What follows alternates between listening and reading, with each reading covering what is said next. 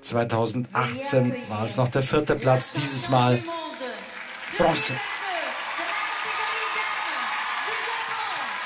Jetzt kommen die Weltmeister. Die erste davon, Kaori Sakamoto aus Japan, die uns so verzaubert hat mit ihrer Kür, die sie ja schon die ganze Saison gelaufen ist. Aber besonders emotional finde ich dieses Jahr. Hier hat sie den Titel Lose You to Love Me von Selena Gomez ausgewählt.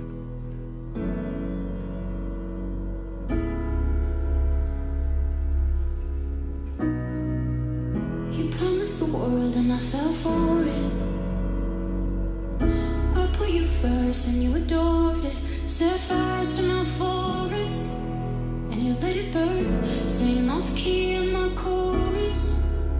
cause it wasn't yours. I saw the signs and I ignored it. Rose colored glasses are distorted.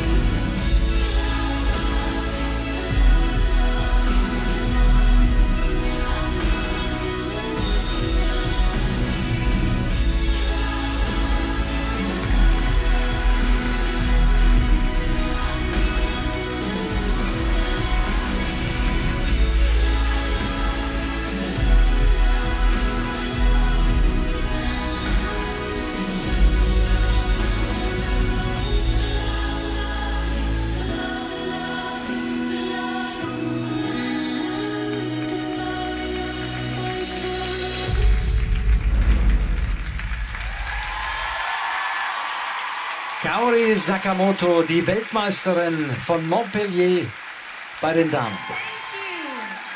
Und gerade für sie ist ein Choreograf so wichtig. Sie braucht diese Führung. Sie hat eine tolle Technik, einen tollen Schlittschuh. Sie kann super schön laufen. Aber jemand muss sie einfach führen und das hat ihr Choreograf, das hat Benoit Richaud aus Frankreich meisterhaft gemacht. Ich glaube, sein Meisterstück hat er mit dieser Kür abgeliefert, die er ihr Maß geschneidert hat. Und wenn sie auf dem Weg weitermachen, diese Konzepte so auszufallen, dann wird sie sicherlich noch die nächsten Jahre bis zu den Olympischen Spielen immer wieder da vorne mitmischen.